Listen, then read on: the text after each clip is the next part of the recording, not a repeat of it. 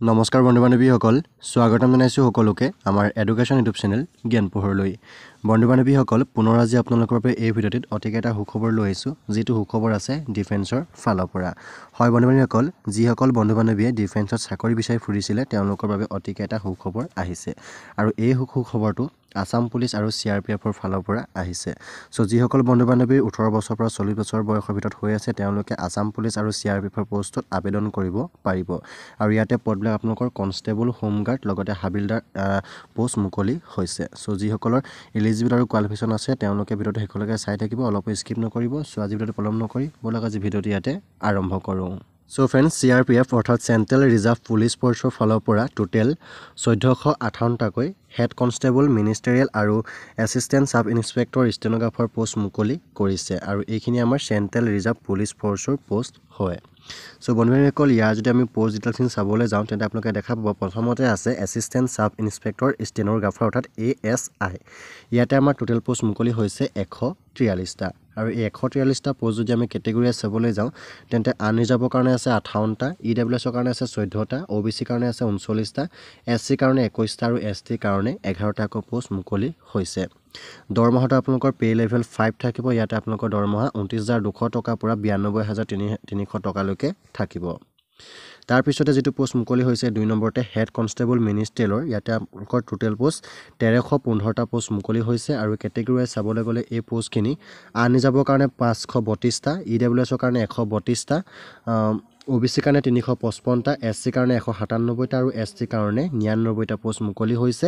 আৰু ইয়াৰ কাৰণে আপোনালোকৰ পে' লেভেলটো ফ'ৰ থাকিব অৰ্থাৎ আপোনালোকৰ পঁচিছ হাজাৰ পাঁচশ টকাৰ পৰা একাশী হাজাৰ এশ টকালৈকে দৰমহাটো থাকিব। এলিজিবিলিটি ক্ৰাইটেৰিয়া চাবলৈ গ'লে আপোনালোকে এই পষ্টটোৰ কাৰণে বয়সৰ সীমাটো হ'বলৈ মিনিমাম এইটিন ইয়েৰ্ছ আৰু মেক্সিমাম হ'ব লাগিব আপোনালোকৰ টুৱেণ্টি ফাইভ ইয়েৰ্ছ অৰ্থাৎ আপোনালোকে ওঠৰ বছৰৰ পৰা পঁচিছ বছৰ বয়সৰ কেণ্ডিডেটে এই পষ্টটোৰ কাৰণে আবেদন কৰিব পাৰিব। বয়সৰ ৰিলেশ্যন চাবলৈ গ'লে আপোনালোকে দেখা পাব এছ চি আৰু এছ টিক পাঁচ বছৰ দিয়া আছে তেওঁলোকে পাৰিব ত্ৰিছ বছৰলৈকে অ' বি চি এম চিক দিয়া আছে তিনি বছৰ তেওঁলোকে পাৰিব আঠাইছ বছৰলৈকে আৰু এক্স ছাৰ্ভিচনক দিয়া আছে তিনি বছৰ তেওঁলোকৰ আঠাইছ বছৰ বয়সলৈকে এপ্লাই কৰিব পাৰিব। শিক্ষাগত অৰ্হতা আপোনালোকে এই পষ্টটোৰ কাৰণে আপোনালোকে এপ্লাই কৰিবলৈ হ'লে মাষ্ট বি আপোনালোকে টুৱেলভ পাছ কৰা হ'ব। লাগিব যিকোনো এখন ৰিকগনাইজ ইউনিভাৰ্চিটি বা বৰ্ডৰ ফালৰ পৰা। এতিয়া আহিছোঁ এই পষ্টটোৰ কাৰণে আপোনালোকৰ এপ্লিকেশ্যন ফিজ কি ৰাখিছে? আপোনালোকৰ এপ্লিকেশ্যন ফিজ দেখা পাইছে unreserved E W S O' B চিৰ কাৰণে এশ টকা ৰাখিছে আৰু বাকী যিখিনি এছ চি এছ টি বা ফিমেল কেণ্ডিডেট আছে ফিমেলৰ কাৰণে আপোনালোকৰ ইয়াত ফিজটো নীল ৰাখিছে। Only O' B C U R আৰু ই ডাব্লিউ এছ বয়ছৰ কাৰণেহে এশ টকা আপোনালোকৰ ফিজ ৰাখিছে। পে'মেণ্ট মেথডটো আপোনালোকে অনলাইন মাধ্যমৰ যোগেদি কৰিব লাগিব। যিকোনো তাৰ ইয়াতে দেখা পাইছে ভীম ইউ পি আই নেট বেংকিঙৰ যোগেদি।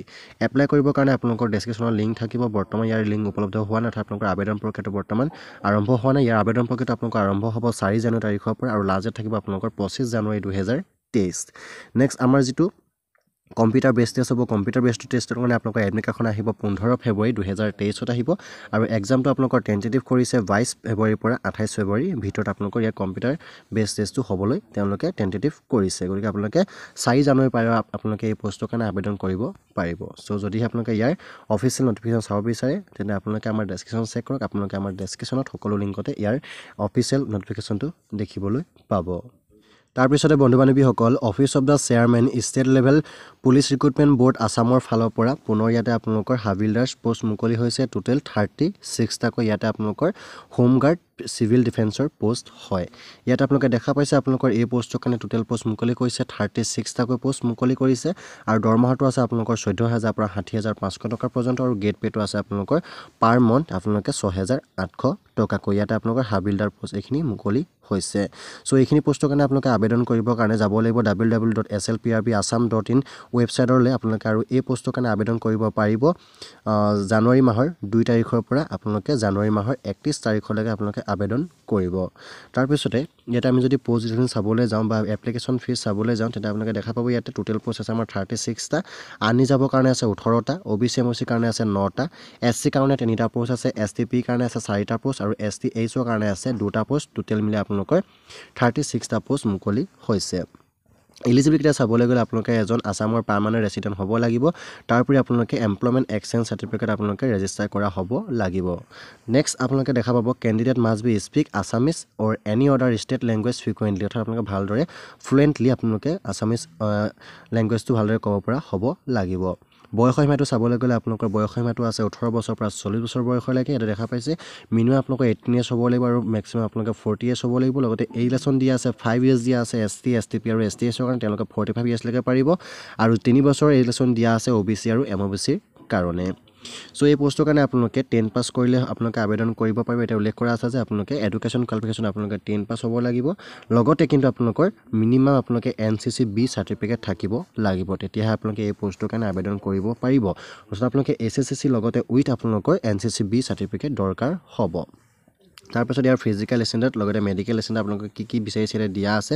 সকলোৱে আপোনালোকে দা আছাম পুলিচৰ যিটো অফিচিয়েল ৱেবছাইট আছে S L P R B dot Assam dot gov dot in তাতে গৈ আপোনালোকে সম্পূৰ্ণ ইয়াৰ এইখিনি চাব পাৰিব ক'ত কি ধৰণে আপোনালোকৰ ইয়াতে বিচাৰিছে। চ' বন্ধুসকল আপোনালোকৰ আবেদন প্ৰক্ৰিয়াটো বৰ্তমান সময়ত আবেদন আৰম্ভ হোৱা নাই আপোনালোকৰ জানুৱাৰী মাহৰ পৰা এইখিনি পষ্টৰ কাৰণে আবেদন হ'ব। যদিহে আপোনালোকে আবেদন কৰিব বিচাৰে তেন্তে আপোনালোকে আমাৰ চেনেলত পুনৰ এবাৰ ভিজিট কৰিব তেন্তে আপোনালোকে আমাৰ চেনেলত ইয়াৰ এপ্লাই কৰা ভিডিঅ' পাব।